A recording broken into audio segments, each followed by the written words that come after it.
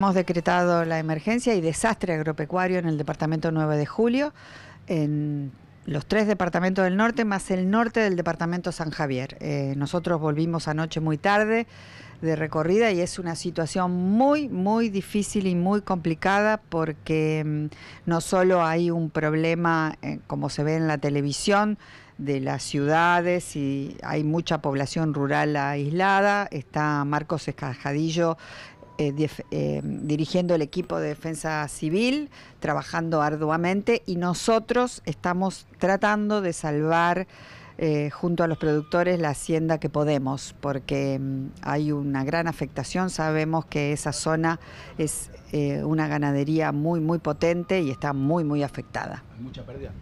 Sí, mucha pérdida, mucha pérdida.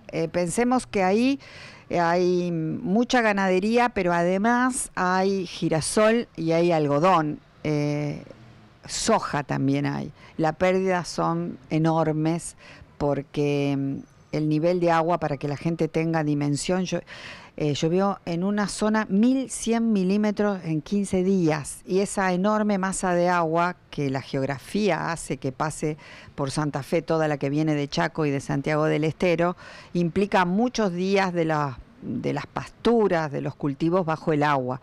Eh, vamos a ver qué pasa con el girasol, si hay alguna posibilidad de, de, salvar algo, pero además del que se salva tiene problemas en la calidad, porque ya veíamos en el girasol brotes verde y eso eh, baja la calidad de la, de la semilla. Con lo cual es una situación muy, muy compleja. ¿Se puede cuantificar cuántas son las hectáreas aproximadamente afectadas y en la producción? No, son más de 2 millones de hectáreas, pero nosotros no podemos cuantificar. Ayuda concreta que, que hace el productor que ha sido eh, afectado, cómo la pide y qué es lo que se le puede. Es la declaración jurada esta que pusimos online o en papel, si quieren hacerla en papel la pueden hacer en papel y llevar a la comuna o llevar a nuestras sedes del Ministerio de Villa Minetti o de Reconquista. Nosotros le garantizamos que en una semana em, tienen el certificado. Con ese certificado no se les postergan todos los pagos de impuestos, se les postergan todos los pagos de cuota de créditos bancarios si las tuviesen y además eh, toda la hacienda que vendan en forma forzosa y urgente, primero no pagan ganancias, se les sacan todas las, eh, sanciones por los pesos de faena, Senasa les habilita los eh, trámites para, traslado de hacienda.